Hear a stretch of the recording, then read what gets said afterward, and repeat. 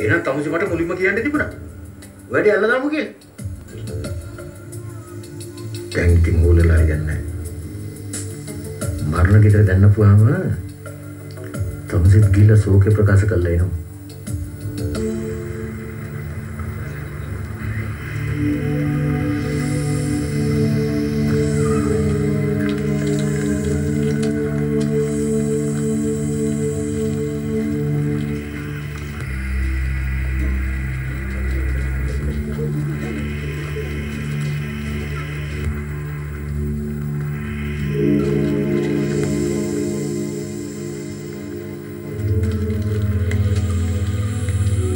බය වෙන්න එපා පුතේ.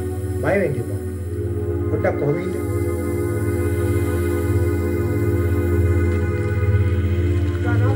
පුතා නවතින්න.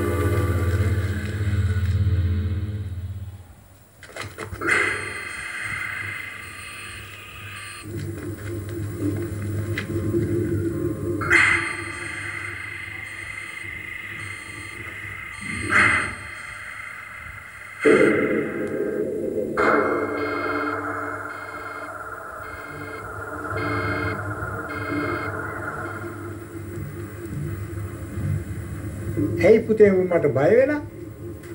සීයා මැරිලා දැන් අවුරුදු 3ක් වෙනවා. ඔව් උඹත් මැරිලා දැන් දවස් දෙකක් වෙනවා. සීයා මේ කොහේ ඉඳලා දෙන්නේ? මම ඉන්නේ ආච්චි ළඟ ඉඳලා. හොඳ දැන් මැරෙන්න ළඟයිනේ.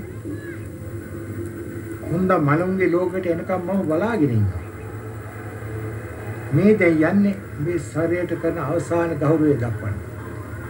ආ ඒක උඹට ලැබෙන්නේ නෑ පුතේ. එතකොට සීයාගේ ශරීරේ තවම තියෙන්නේ සීයා මැරිච්ච දවසේ ඇඳපු ඇඳුමනේ. ඒ අවසානයේ ඡායාව. අපි අපිට විතරයි එහෙම පෙනෙන්නේ. උඹට මාව පෙනෙනවා මට උඹව පෙනෙනවා.